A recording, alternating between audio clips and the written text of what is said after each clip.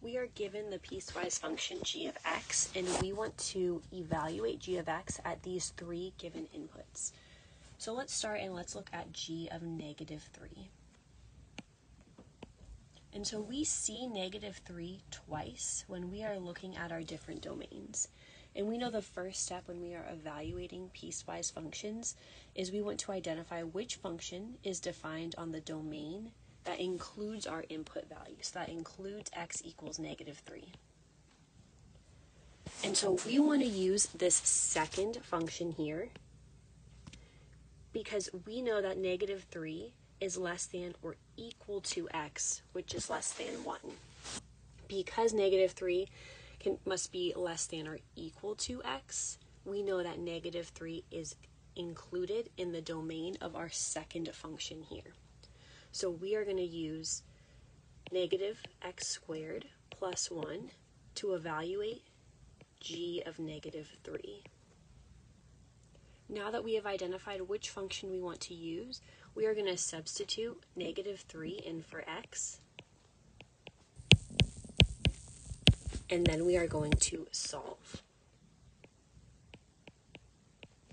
So negative 3 squared gives us a positive 9, leaving us with negative 9 plus 1.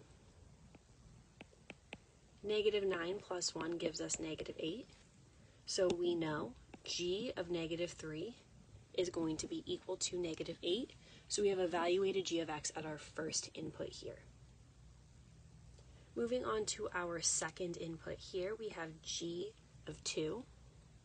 So first step again is we want to identify which function is defined on the domain that includes x equals 2. And that is going to be our third function here, g of x equals 5 because that is defined on the domain where x is greater than 1 and 2 is in fact greater than 1. So we know that g of x when x is greater than 1 is always going to be 5.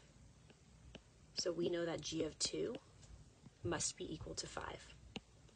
And we have identified our second g of x value at our given input. Finally, we have g of negative 6. I'm going to do this one over here. g of negative 6, again, identify which function is defined on the domain that includes negative 6. That's going to be our first function here because negative 6 is less than negative 3. So we are going to substitute negative 6 in for x in the equation negative 9x minus 2. That's going to give us negative 9 times negative 6 minus 2. And now all we have to do is solve. Negative 9 times negative 6 is going to give us a positive 54. We want to subtract 2. 54 minus 2 gives us 52. So our final answer here, g of negative 6, is equal to 52.